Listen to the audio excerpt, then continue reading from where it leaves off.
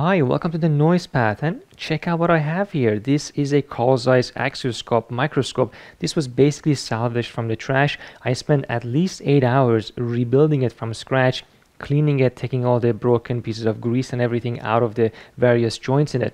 This is a really complex piece of optical engineering and it has differential interference contrast microscopy as well, which I will show you and we'll talk about it. It has all of its objective lenses, very precise XY bed as well as very precise focusing to be expected because you can have very high uh, magnification on this. It has several different filters that can be attached to it. I even have the camera attachment at the top, which is great because it allows me to connect this to an HDMI capture so we can look directly under the microscope with all of its precision and beautiful images that it can produce. I only have one complaint about it, and that's the fact that it is lit with a halogen lamp. And believe it or not, this is still fairly standard because of the extraordinary brightness these lamps can produce and it has its own housing, the light enters the microscope and hits various mirrors and, and prisms in order to split the light between the eyepiece, the camera, the objective lenses, and the reflection comes back. It's pretty complicated. You can also have these lit from the bottom, but it doesn't help us in our lab because I'm mostly interested in looking at things which I want to illuminate from the top and I don't want to see right through, like uh, integrated circuits, for example. So what I want to do is if, if, it's possible to replace this with an LED. So I have bought an LED module for it, a really, really bright one because I also want to increase the brightness. I want to show you what's over here and see if we can retrofit this with an LED. It has a built-in power supply, which we will also take a look and see if we can service to make sure it's working well. But yeah, it's a really beautiful instrument. So let's take a look inside. Of course, these slits allow the heat to come out. Obviously, a halogen lamp up to 100 watts in here can get pretty warm and here it is. You can see clearly the light inside. Let me adjust this a little bit. There it is. Here's our halogen lamp obviously you should never touch these. The oil from your hand damages the glass the quartz. And then here we have a mirror in the back which collects as much of the light from the back side because obviously halogen lamps are 360 degrees almost. So then reflection also goes back inside. And there's a few lenses in here to focus it and at the right place in the in the item that you're looking at. So we want to remove all of this but use the mount still and see if we can attach something in here to act as this halogen lamp. So let's go and see if we can build something. So one of the things I wanted to do was to keep the look of the microscope when I add this uh, LED change to it. So here's what I've done. You can see I can remove that from the shroud. So I kept the original shroud, of course, as it was. And I added some circuitry to it to accommodate a fan and a couple of other things. So I wanted to have a really powerful LED. So here's an LED that's underneath this. This is about a maximum rate of 100 watts. Probably never going to run it at 100 watts. There's also a small DC-DC converter. This is going to run about 30 volts. And the DC-DC converter is there to help run that fan. And I had to take an angle grinder to quite a few of these pieces. Obviously, I took the optics out before doing that in order to make everything fit together because there were pieces of metal used to hold the halogen lamp in place which are not needed anymore. So now this guy is going to need, about 30 volts to run this LED. The power supply inside the microscope is only 12 volts. So we're going to need some other modification. And I added this because I only wanted one wire to come out. So let's close this back up together just so that we can see it fit on the microscope. And then we have to turn our attention to the power supply inside the microscope itself, make sure it's up to date. And here's the power supply module out of the microscope and it is made in West Germany so it gives you an idea of the age of this thing. It's really quite well made, obviously fits into the form factor of the microscope. And I did quite a bit of measurement on these components without taking it apart too much and surprisingly enough most of them are okay. This still needs to be recapped fully of course at some point but I think it's good enough for us to be able to take a step forward and try out to see if we can get the LED attached to this. So I don't want to modify this, I want to keep the microscope in its original form. So if I connect the output of this to a boost converter, I should be able to boost it all the way up to the 30 volts required for the LED. And then of course the little DC-DC converter I showed you inside the LED module will step it back down to 12. I know it's a little bit silly. You can just have two wires going into this and it will do the same thing. But this way I just, you know, keep everything in one wire connected. So after playing around for a while, I eventually settled on this solution. I ended up buying one of these DC-DC converter modules which have become quite popular 3D printed a case for it and put it in there and I'm using a 48 volt external power supply. I ended up not using the one internally on here for a variety of reasons. And then this just essentially steps it down. So I can get 100 watts into the LED using this DC-DC converter with very good efficiency, almost 95% or so. So if I just go ahead and turn it on, you can see, let me focus a little bit in there so you can see what kind of power numbers we're talking about. So the LED is running around 36 volts, but it is current limited. The nice thing about these DC-DC converters is that they can run at constant current. So you can see about 90 watts going into it, which is a lot, but of course it is really bright. And the color temperature of the light is also quite different. There are some fundamental issues that can come from using a multi-point illumination, which is what this is compared to a halogen lamp. But anyway, we won't get into that. I'm excited to see the result of it.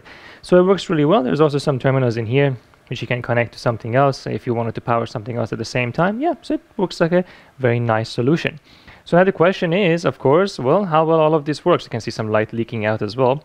And there it is. You can see there the point of light coming out from the microscope. So I have an integrated circuit, which I designed many, many years ago when I was a student under this so we can take a look at it and see some of its features and I can show you some of the capabilities of the microscope too. So if you're curious on how we're going to capture this, I'm not going to put a camera in front of this because you're not going to appreciate the optical performance and it looks fantastic through these eyepieces but it also looks really nice through the path onto the camera. So this is a Nikon D700 fairly old camera full frame and I can open the shutter of this and do a live preview. Unfortunately, the live preview of this is not very fast frame rate, so I would have to change this at some point, but we're going to use this path in order to see it. So I can do an HDMI capture directly from the camera, so you basically see as good of an image as it is possible. Okay, let's take a look at this chip here. I'm going to try and bring this into focus. And there it is, check it out, it looks quite nice. This is a 130 nanometer CMOS IC. This was in IBM process, which is now part of Global Foundries. It's a millimeter wave track and hold amplifier operating at around 30 gigahertz. It's intended for a front-end ADC. It's quite old, I think maybe more than 15 years old now. And you can see a lot of interesting features on it. You can see quite a few inductors in different metal layers. At the top, you see two inputs, left and the bottom. That's the input clock and the output. And the pads you see all around, they look a different color because they don't have passivation on top of them. But there are a lot of passive components on this chip, which we can take a look at if we zoom in further in. At this view, you get a nice global look at the IC, but I really want to show you the internal inductors, the different metal layers, and how this microscope can show you those features, especially with a really shallow depth of field. So here we are at 50 times magnification. At this magnification, the amount of light coming back to the camera is quite limited so the camera doesn't do justice to the clarity of this image that we're looking at. Unfortunately I'm going to probably have to change the camera to make it better in the future. But what you see on the left side are the, is the top metal layer. You can see it's also connected to the pads and there's two little inductors in there. And I can now change the focusing plane because it's so shallow to take a look at the metal layer that's directly underneath it.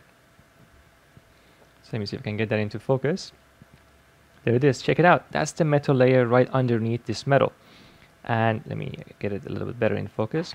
So you see those inductors go down into that other metal layer and connect to it. And that is where, in fact, some of the transistor connections are also made. But I can also go further down, even lower, and then soon you can see the metal layer underneath comes into focus. And now we have even more inductors at that layer. This process, I think, had about maybe nine or 10 metal layers. A lot of them, unfortunately, you cannot see because there's a, a mesh covering it and a lot of circuitry underneath which are invisible because of the metal. But the silicon oxide, which is what separates the different metal layers, is transparent. That's glass. That's why we can go from metal layer to metal layer. It's really quite amazing to see different things come into view. Remember, these metals are only separated by a few microns, so their depth of field is really, really shallow on this microscope, allowing you to also get a feeling for the height difference between these different metal layers. I, I always really enjoy going between different metals and seeing how these different features come into focus going from one place to another. Yeah, it's really quite mesmerizing. But we're going to do a lot more analysis like this in the future. That's why I set up this microscope. But I do want to show you this uh, difference interference microscopy, differential interference microscopy that is part of this, and it creates contrast. And some really interesting features of the image can come out of this. Let me set that up and show you what it looks like.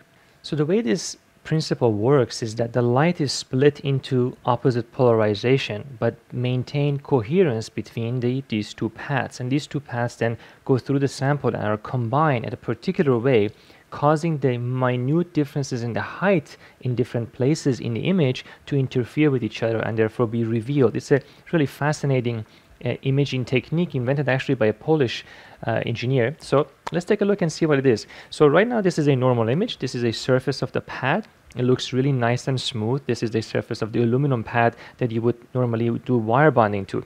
but it's not actually smooth. It has tiny, tiny imperfections, which we can bring out by enabling this feature.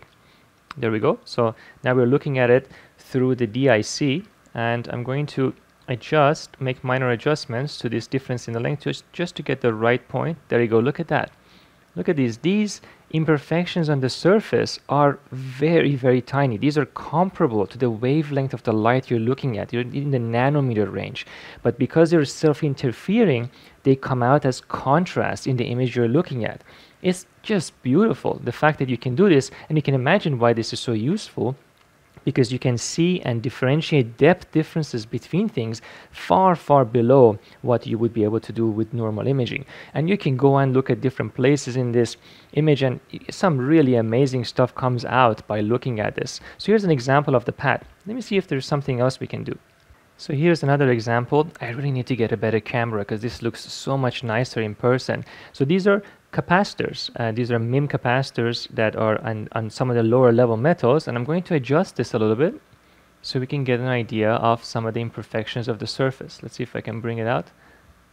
And look at that. I mean, you can clearly see all the tiny little speckles of differences between the surfaces. This is just a natural from manufacturing. But look at that. They all come out. It's really amazing that you can do this uh, at this level. I can never get tired of looking at chips like this. So yeah, there you have it. I'm really happy with this setup. We can do so much more now. Look at the details of these IC designs in the future. I hope you like this. This is just a preview of things to come.